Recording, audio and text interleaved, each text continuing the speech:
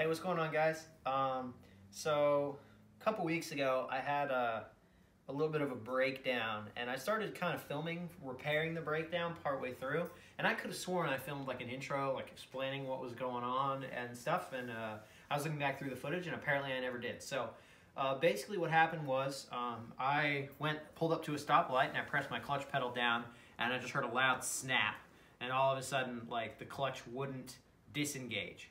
Um, so what I found is that one of the two bolts that holds the master cylinder like into uh, the pedal, so you can like push down on it and the bolts hold it so you can press down on it. One of those two bolts uh, sheared off. So uh, I called my buddy Kevin and he towed me with his Audi 200 uh, to a parking lot so I could jury rig it to get home. And then I started fixing it. So uh, I think uh, where we're at in the footage is where you'll see is I'm just starting to work on removing the clutch line.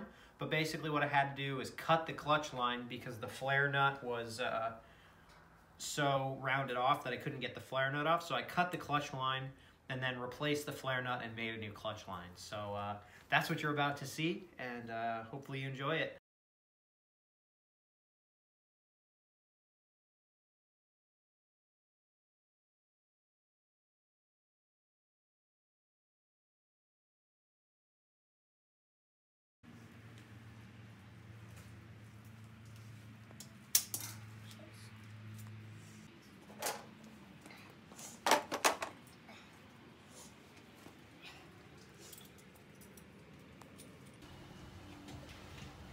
All right, so I've been able to get the line end wrench in there through here. And as you can see, uh, here, let me position it so you can see as I loosen. Um, I am able to turn, and this one is not stuck at all. And I was able to get out right away super easily. And you will notice that fluid is leaking out of this. Obviously, if you were to not have a breakdown and you were like, hey, I want to change this line for whatever reason, you would absolutely, see, there she's free you would absolutely 100% want to bleed the entire system before you did this because I am just leaking brake fluid. So that's super bad. And uh, according to the service manual, if you get brake fluid on any paint, please wash it off with water immediately. And uh, I've tried to do that, but obviously I'm in an apartment complex with no uh, like hoses. So I just have been bringing a bucket out here with, with water and dumping it on anything that I think gets brake fluid on it, which is super not dope. But anyway, so that connector is now free. So let's see if I can pop that line free.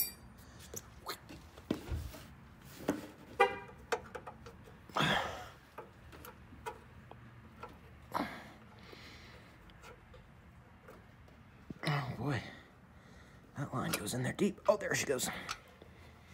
Okay, that's free. Let's see if I can pull this baby out.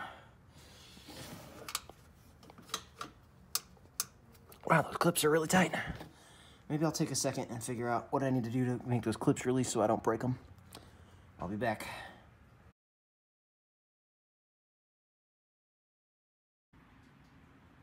And with that, the hard line is out.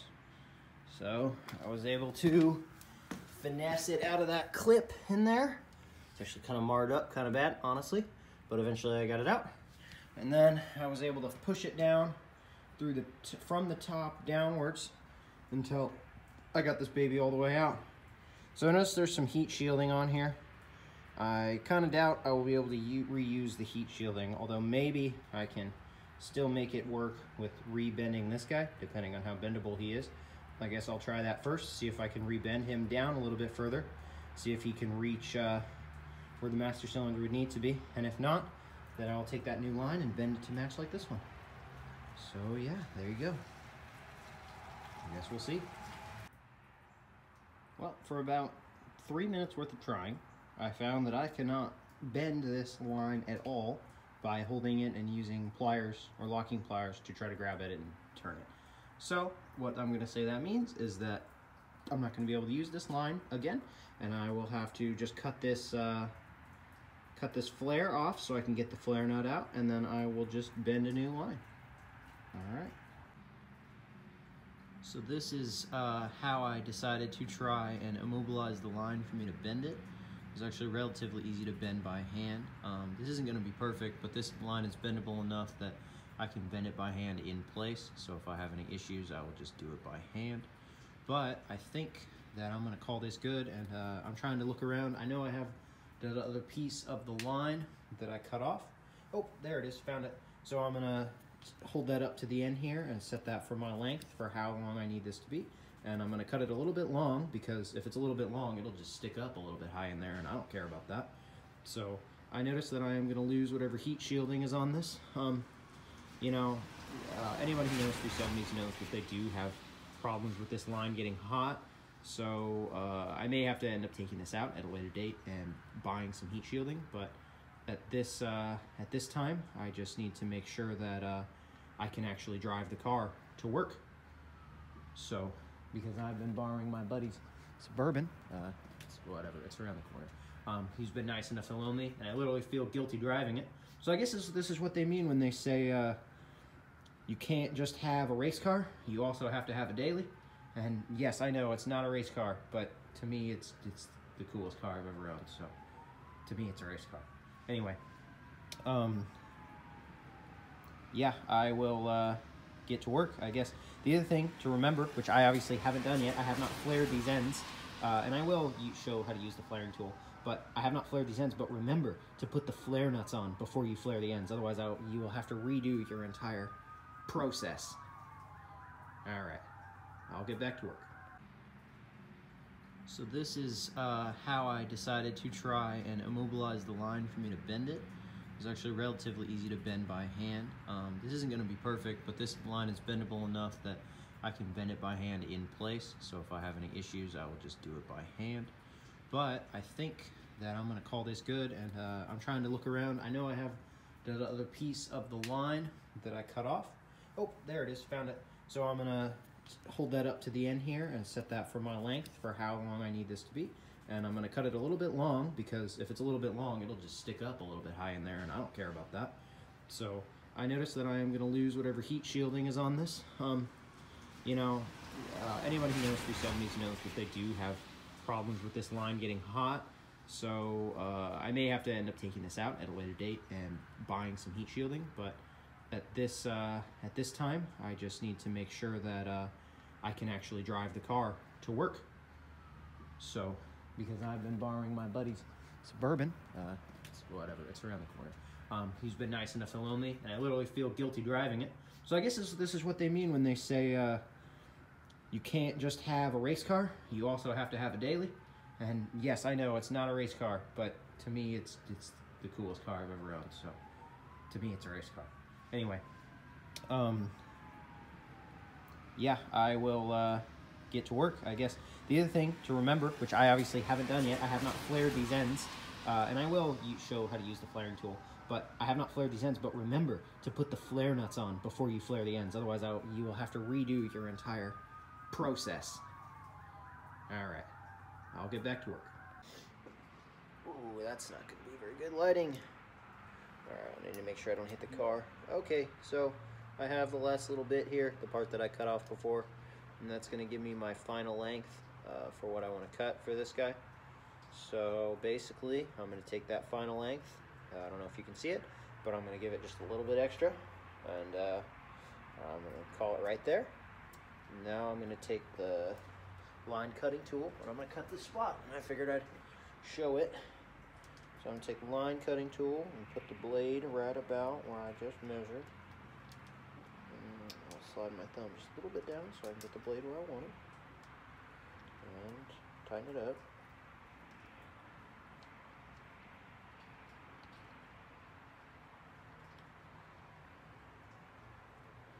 So like I said, you want to tighten it till it just grabs and then you see I can rotate it around and then I will tighten it a little bit rotate it around.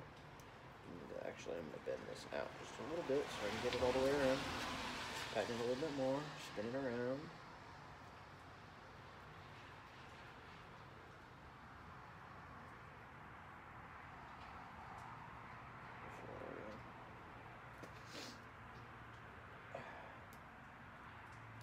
Make sure that I'm still good on length.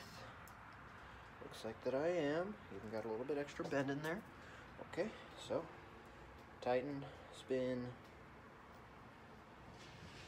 tighten, spin, tighten spin.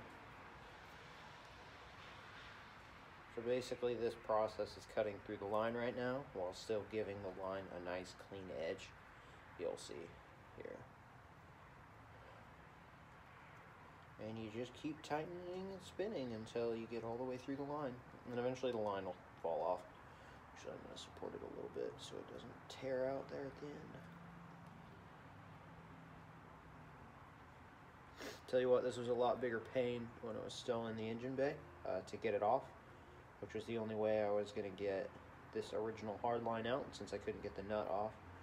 Um, I'm assuming that there are better tools out there that would have been able to get that nut even though I couldn't, but I couldn't, and whoops, there she goes.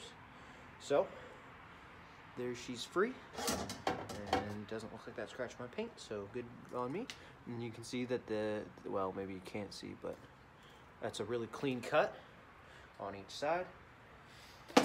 So, now I have this end cut as well, and that's also a super duper clean cut, as opposed to the other end of this guy, the normal one, which is warped kind of bad because of when I cut it, it was kind of a jank cut.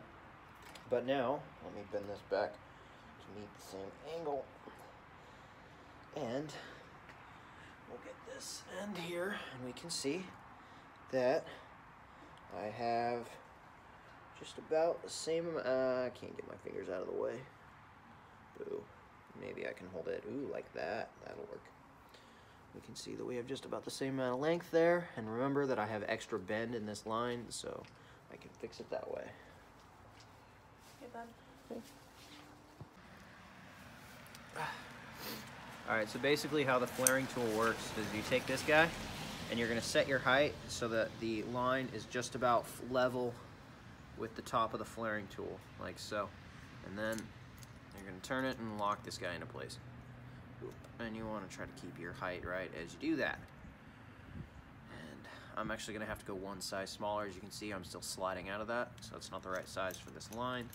So let's go over to this guy, slide it up, get our height just right. That looks just a little bit too high, a little bit too low. We'll try that guy right there. So then loosen this baby up, slide it into place, and lock it down. Ooh. Yeah, that looks pretty good. So, the flare nut is already on. Don't forget this. I should have to cut it off and do it again. And then you, you get the right size head um, to put on, and that is not this guy. I think it is this guy.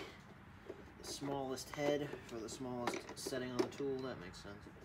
So, come here, little guy. I'm gonna place the head in the hole, just like that. Oh, it is labeled, that's great. So it's labeled as the 4.75 millimeter. And then you're gonna take this guy and you're gonna crank it down. Uh, so I guess I'll show you guys. That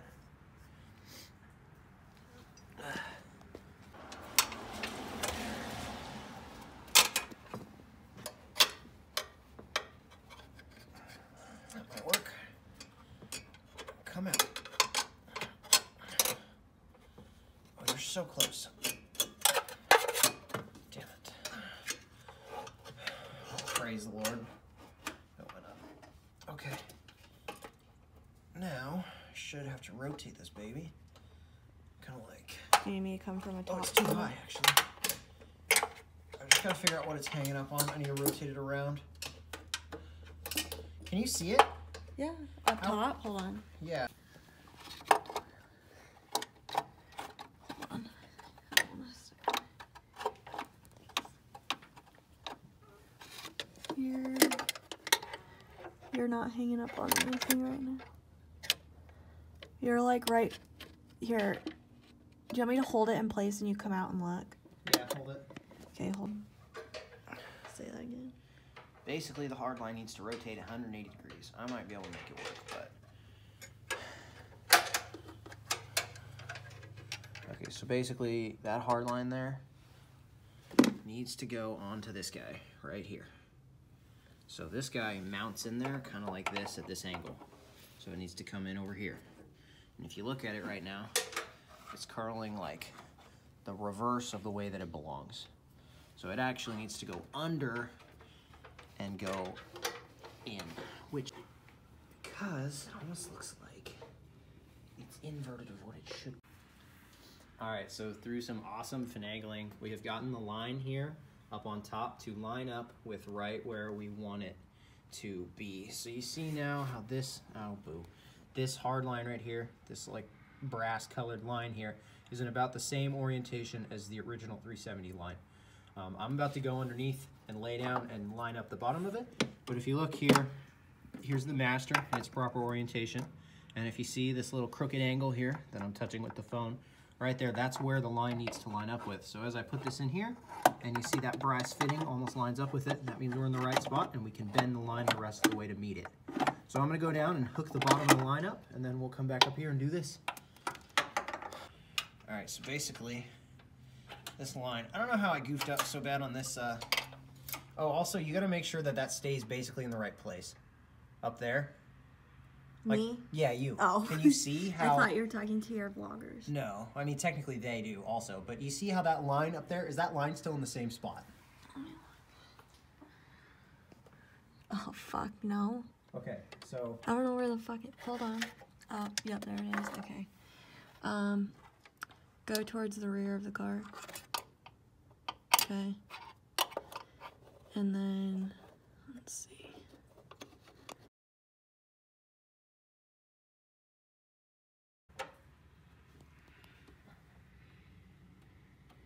okay, I think that I'm at my hole. Okay. I'm gonna try to take this wrench and spin it on, but that's what might take some doing to get everything to line up.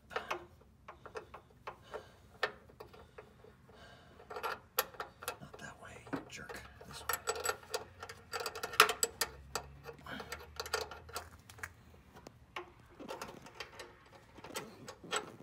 Oh, too far. Come gorgeous. I just need you to go there and then come off. Not spin back. Come off. Oh, that's still not going on, is it? Darn it. Can you see? Okay. Ready? Mm-hmm. Okay. Ah. so that line just threaded in. I kind of had to bend. I don't really understand. So this line must be run slightly different than the other hard line because I bent it exactly the same, and then I had to do kind of some finagling to get it into place. But both the top and bottom are lined up with where they should be, and I'm just threading the bottom into the connector now. Um, so I'm gonna thread this in pretty far. There may be a torque spec for it. For tonight, I'm not gonna worry about torque spec. Uh, I can worry about that tomorrow. I won't over tighten it tonight, and uh, I probably won't get to bleeding the system tonight, but I'm gonna try to get the system at least hooked up so that tomorrow can be bleeding and leak checking, and uh, it's probably still gonna be dark when I get to work on it tomorrow, but maybe it'll be warmer. Who knows? So just this slow and steady process using just a normal, just a normal box end wrench here to get it uh, tightened back in. I do have the line end wrench down here, but it was much more of a pain to get on, and it kept slipping down. So I'm just using the normal wrench for now. Shouldn't be too much of a problem, I don't think. Mm. That Oh, there she goes. That's tight. I was holding that flashlight with my mouth. Yeah, I had to drop it. proud of you. That's a tough hold. Okay, so that baby's in. You want me to hold on to it up here? Because you just pulled it down. How far did it go down? Too far? Let's see.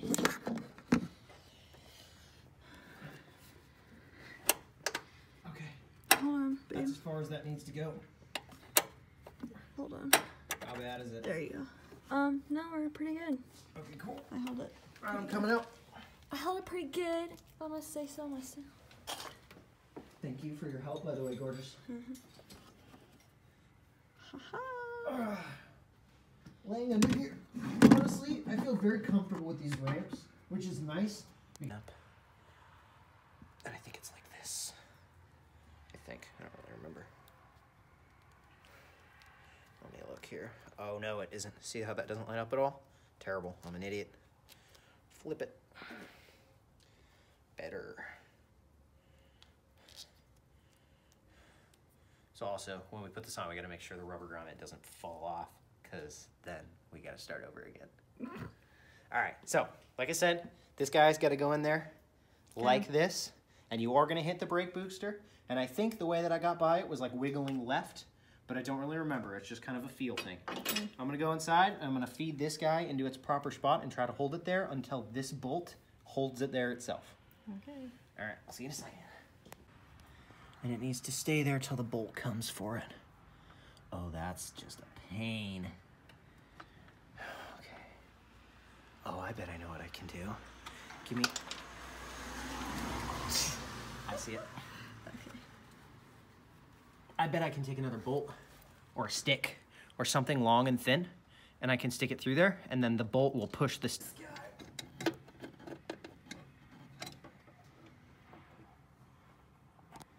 Through the hole here. Uh, and it comes through all the way through the hole. What I need to do, pull him back. Ow. That hurts. This way. Maybe. Now. Fall. Go through. Now you need me to do my job. Stupid brake line. Okay, there, cool. Okay. So now, start finagling the master cylinder in. Okay, you want me to put this in? Where are you at? Right here. What's up? Is this orientation? Look at it. Like this. Yeah. Okay. This thing Yeah, is uh, vertical. Yeah. This thing on the right is angled to the right. The bolts will line up.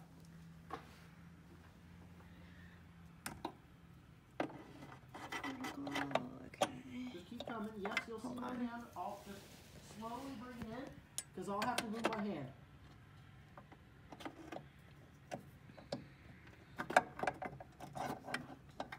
Yep. Yep.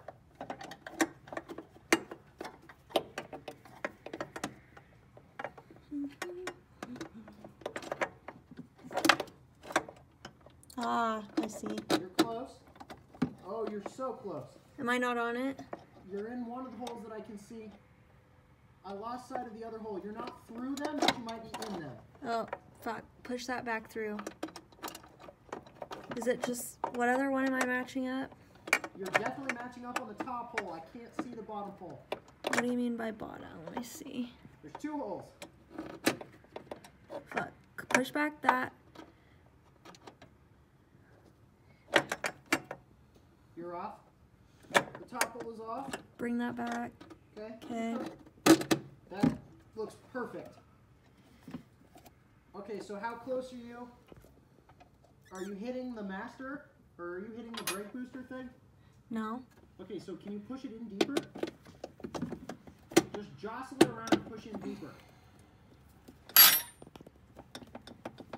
It feels like it is. As deep as it It's not all the way in. 100% definitely not. Okay, hold on. This is a commitment to the vlog right now because I believe you. half-assing it because I can't film in.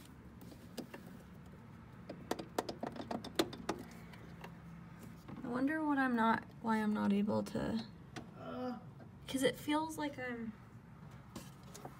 lined up. oh, I think I know why. Hold on, hold on, hold on. Oh, fuck, this fucker. I mean this, Try it again.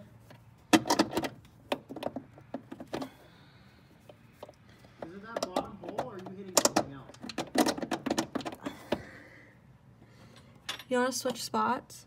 Sure, yeah. Okay.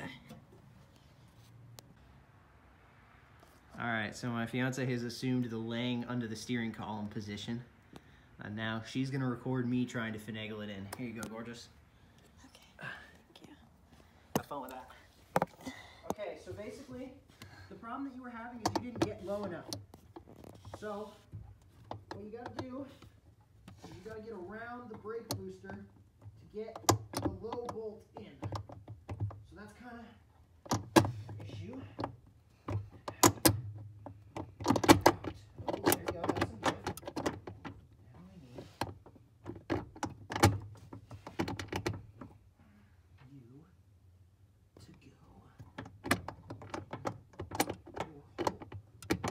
Okay, so what I need you to look for, you see the lower bolt, the lower engine side bolt, hole. Pull it. There's a hole on the lower engine side. You know what I'm talking about at all? Maybe. Yeah.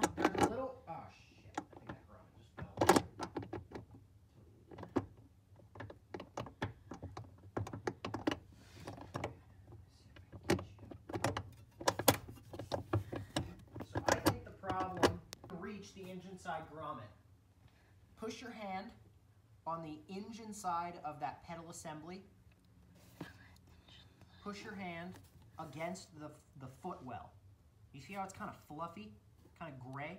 Gray, fluffy. What the fuck? I'll show you. I'm coming to win stuff. Stay, stay, you're good. No, I'm kind of losing blood to the head. Yeah. All right, so the whole master is now in, and uh, Marissa here, my wonderful fiance, just was able to get the uh, rod back through the clevis and the clutch pedal.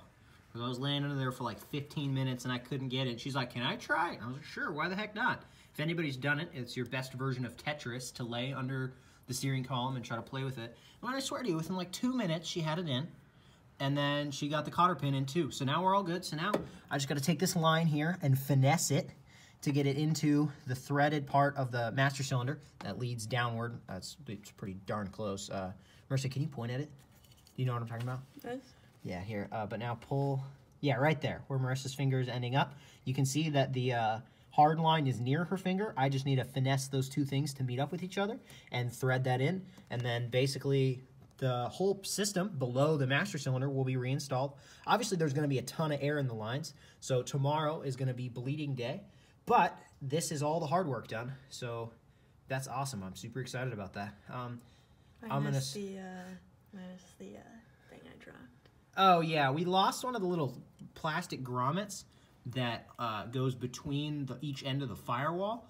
So honestly, the it's gonna be a, the connection's gonna be a little bit weak on this top bolt side, but I can't find it anywhere, and I think it fell down into the subframe there. You can't really see it, but there's a hole down in there, and uh, I think it fell down in there. I can't find it on the floor. I can't find it in the engine bay. I reached around a bunch, couldn't find it anywhere. So I'm gonna say that it's probably gone, which sucks. So if anybody's ever doing this, I super don't recommend that. But that's where we're at today. So My pee. that's all right. Okay. All right. So yeah, I guess that's your update, and we'll uh, we'll see you guys soon.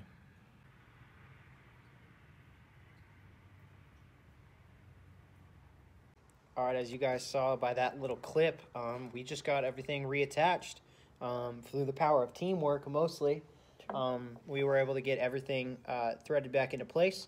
Um, the I don't have a torque wrench for these hard lines, so they're kind of just as tight as I think they should be, which again is bad. If you have a torque wrench, use it. Um, but as you can see, everything is reattached. So tomorrow I'm going to fill this up with fluid and bleed the lines. Uh, I didn't get uh, Motul RBF 600, which is the high heat uh, brake fluid that is like super recommended for 370s for the reason that this system sucks and gets super hot and then your clutch starts to go out.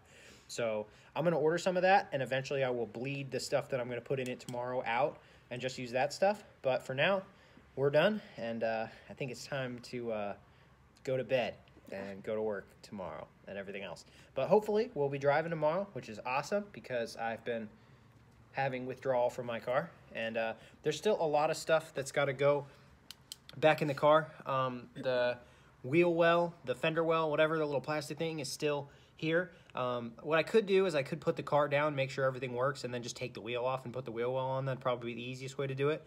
Um, we'll see. We're gonna probably deal with that after we're sure everything is bled because I don't want to take it off these ramps until I'm sure that I can get the clutch to engage and disengage and everything else correctly. So, anything else you want to add? Nope, it's cold. All right, yeah. gonna go inside. But oh, you can't it. see it. We Oh, got it. You can see your breath, which is awesome. All right, well, I just wanted to say that my fiance is a huge trooper because I was totally ready to give up and do this tomorrow, and she was like, "Yeah, we're gonna finish it." So I appreciate it. Thank you. Mm-hmm. Love you. All right, well, that'll be it for us for tonight.